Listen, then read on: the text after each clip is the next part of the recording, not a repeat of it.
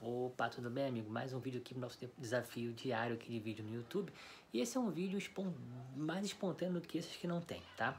É, eu, eu tô lendo nesse final de semana um livro que eu quero. Esse é o motivo desse vídeo aqui. Eu quero compartilhar com você sobre esse livro, tá? Não terminei, mas acho que já posso falar sobre ele.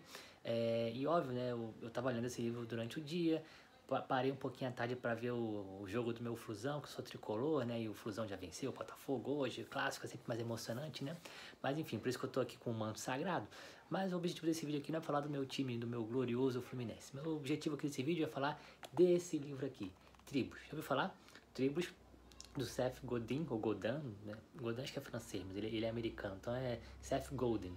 Golden. Né? Enfim, é, esse cara aqui é um renomado autor de marketing, tá? Marketing digital, marketing de forma geral.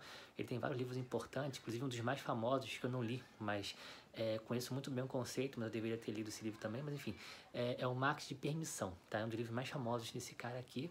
E ele é um dos, talvez, um dos maiores blogueiros de todos os tempos é, na internet sobre marketing, tá? Marketing digital.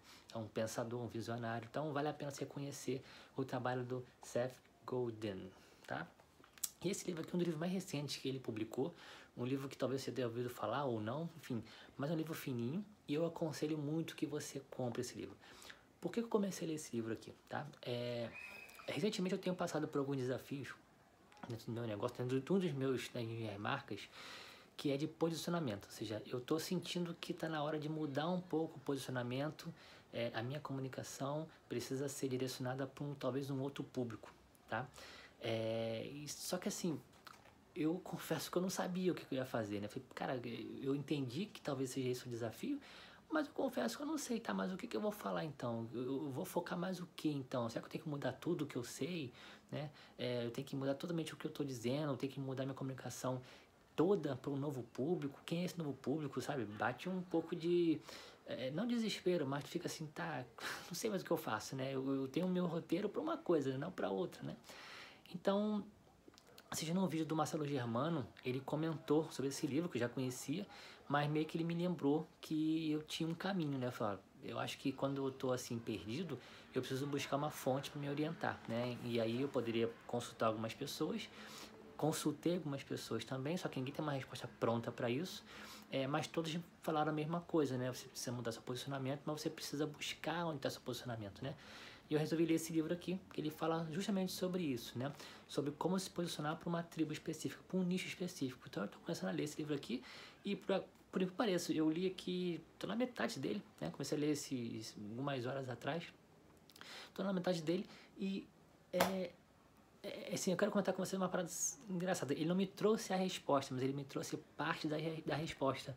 Porque eu não li esse livro aqui, eu olhei assim e falei, ah, é isso que eu tenho que fazer. Não, eu, eu, eu comecei a ler, né? E aí, ao ler esse livro, eu comecei a sintonizar minha cabeça para algumas coisas que eu não estava observando, ou não estava sentindo, eu não estava atento, né?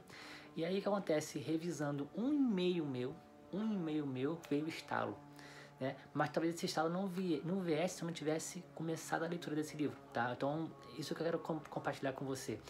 É, não é bem um livro, na verdade, né? Mas o processo de você encontrar respostas. Então, por exemplo, o livro não me trouxe diretamente a resposta, não está em uma página específica do livro, mas o fato de eu, de eu me propor a buscar uma resposta, eu comecei a tipo mexer o caldeirão e as coisas começaram a acontecer, tipo física quântica, né?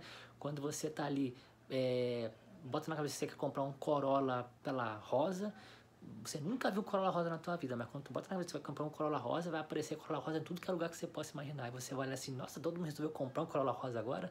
Não, sempre esteve lá, só que você nunca viu, né? Porque você nunca estava preparado para ver aquilo, né? E a mesma coisa é isso. Então, uma, a partir do momento que você decide puxar uma resposta e começa a se mexer para isso, alguma coisa vai acontecer para que você veja essa resposta. Então, vai ser um conjunto de fatores que vai te levar a encontrar essa resposta, tá? Então, eu encontrei essa resposta. Vou continuar lendo esse livro aqui porque eu acredito que eu vou aperfeiçoar esse, essa inspiração que eu tive com esse livro aqui, né? Mas é, eu já diria que eu tô mais leve agora, porque agora eu já sei o que eu tenho que fazer, já sei com quem eu tenho que falar E claro, quando tudo é uma coisa nova, né? não é uma coisa que você nossa, já sei tudo que eu tenho que fazer. Não, aí, aí tem a parte da experiência também. O que eu sei agora é que eu tenho um caminho para seguir e vou construir esse caminho agora. E no caminho eu vou errar, eu vou encontrar, eu vou descobrir que tem algumas coisas mais detalhadas que eu não sabia antes, né? A gente vai construindo. Só que agora eu já tenho um norte, tá? Então isso é importante e essa é a mensagem do meu vídeo de hoje, tá? Eu quero compartilhar com você essa minha busca e como que eu me mobilizei para poder conseguir essa resposta e, e aproveitando também e te recomendar esse livro, porque é, independente de você estar buscando ou não posicionamento, acho que você merece ler esse livro aqui, tá? Esse livro aqui, ele é muito bom, ele é pequeno, é compacto, muito direto ao ponto, como é geralmente os, os textos do Cef, tá?